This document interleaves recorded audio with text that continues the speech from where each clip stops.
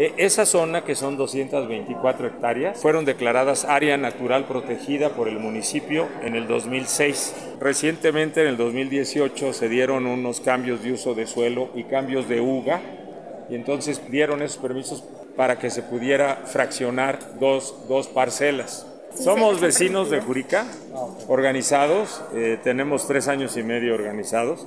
Tuvimos la oportunidad de reunirnos varias veces con el presidente municipal y nos aseguró que esa área se va a hacer un parque, como se llama Parque Intraurbano Jurica, se va a hacer un parque y ahí nosotros también ofrecimos nuestra colaboración. Estamos apoyando, somos ciudadanos de buena fe, no tenemos ninguna intención más que aportar y esta es nuestra tercera contribución que espero que sea útil y si hace falta hemos ofrecido traer más especialistas para que el parque se pueda diseñar con las mejores prácticas, las mejores tendencias globales actuales para beneficio no solo de Jurica, va a ser beneficio de Querétaro, ciudad, y de Querétaro Estado, y podemos ser un ejemplo de tener ese parque con esas dimensiones importantísimo para la naturaleza. Hello everyone, welcome all to this first session that joins all of us who are deeply concerned about the natural protected area and further on the intra-urban park Jurica Poniente. We are all concerned about the future of this very last ecological resource for our metropolitan area. Uh, it's an honor to provide this intervention at this very appropriate time before the park has actually been developed. It gives an opportunity for people to think carefully about how this park should proceed and what values it has the opportunity to express uh, as it is being implemented. This is an opportunity for Querétaro to design a world renowned park that illustrates regenerative principles that protect people, prosperity, and our planet. Uh, this is an opportunity for regenerative spaces, an opportunity to put people, prosperity, and planet in interaction with one another in ways that create abundance across all three of these categories. As an urban geographer, I always look to see what is happening in cities. And around the globe, we have a real challenge.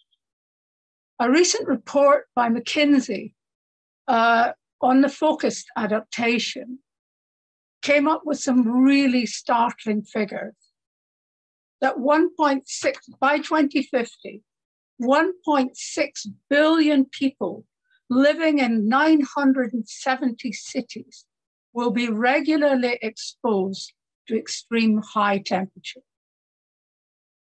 Over 800 million people living in 570 cities will be vulnerable to sea level rise and coastal flooding. Over 600 million in 500 cities will be at risk of water shortage due to climate change. And two and a half billion people living in cities will, will actually be threatened by food insecurity. The impact on people, therefore, in cities is enormous. And it's vital that every city is now seeking to do critical risk assessment. Petit jardin construisent sous, le, sous les jardins. Mm. Entonces están trabajando en impedir que los mismos propietarios que tienen jardines construyan sobre esos jardines ya existentes para que no se acaben la, tierra desnuda y, y, los jardines que hay y que ayudan, porque cada pedacito es muy importante para la infiltración del agua. We have come together today, both government officers, members of civil society and ecological activists to work together in order to better understand what is the better future for this reserved protected area. The good news is it can have immediate benefits, and it can support a strong economic case. Uh, the costs of these can be huge. The World Bank estimates $18 billion a year in low and middle income countries that this is costing. But yet, in, investments in adaptation can return four US dollars for every one US dollar spent because it's better to prepare than to have to redevelop after a, a disaster. Um, so cities do need comprehensive citywide adaptation strategies based on the assessment of their climate risks. And I assume that this is something which you may be doing or may be thinking about because of the importance of the area which you are trying to secure. Because the green areas, park areas, will be important in that both mitigation and adaptation. But two words come to mind mitigation and adaptation. The difference between these two terms, because mitigation is really about addressing the global aspects of climate change and the global warming through greenhouse gases and what cities can do and they can do important things for that. But adaptation, it's been shown that adaptation has, has had less investment, but adaptation is what the individual cities in their local areas should be thinking about, should be beginning to act on uh, because of the risks that it brings to their citizens uh, the climate change uh, emergency. So, in regenerative development, we attempt to be better than sustainability. While sustainability wishes to create development in ways that preserve opportunities for future development, regenerative development looks forward to the opportunity to put in place development that creates prosperity and abundance now and that it builds that capital, natural capital, human capital, and economic capital all at once with the decisions that we make in terms of putting together our development. Sí, el segundo punto importante eh, va enfocado a la desimpermeabilización de la ciudad, porque la ciudad tiene mucho asfalto y el asfalto impide que eh, exista infiltración de agua hacia el subsuelo. So in the case of Querétaro, we're looking at open green spaces. Open green spaces that many people often will look at as a blank space, a blank slate for development. However, these places are not blank spaces. They are living and vital places where economic activity is already thriving. Cultural benefits already exist, and ecological services that are central to protecting our communities with fresh water, flood abatement, um, opportunities for endangered species nesting, and migratory birds. All of these activities currently thrive in these open blank slates.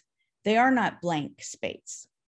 And so, as we look at these places as opportunities to enhance the existing cultural vitality, the local economic services that are provided to farmers, subsistence, individuals, cultural expressions that have thrived in these regions for centuries, we don't want to simply see a blank space.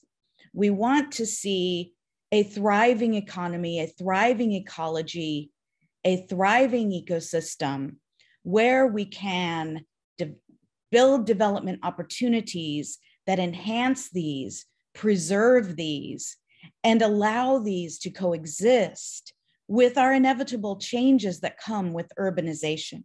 Euh, no es, no es detener el desarrollo, sino más bien hacerlo más equilibrado con los espacios verdes existentes.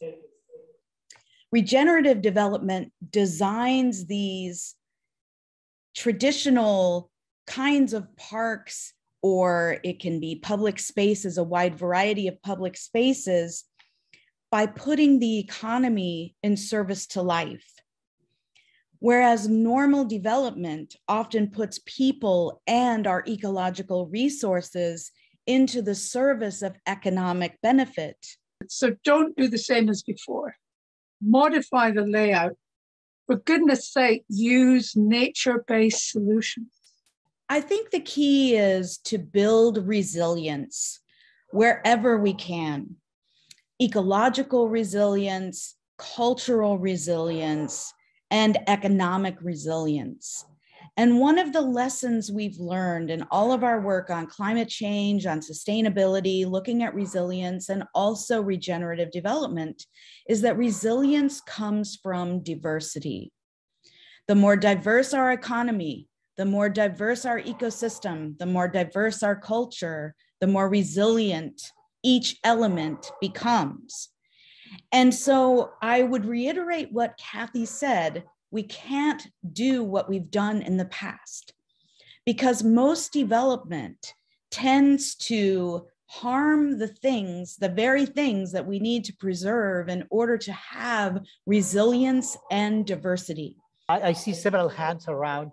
I think there are plenty of questions, and this was the whole purpose of this exercise to have the questions emerge, to open the dialogue, to start the debate, to, uh, uh, to motivate for transparency, for evidence-based uh, discussions, to bring up to the front and to the political discussion, and so that all the participants, all the actors from this uh, related to, to, the development of this area participate uh, actively in providing the best elements for uh, the, the optimal decisions around it.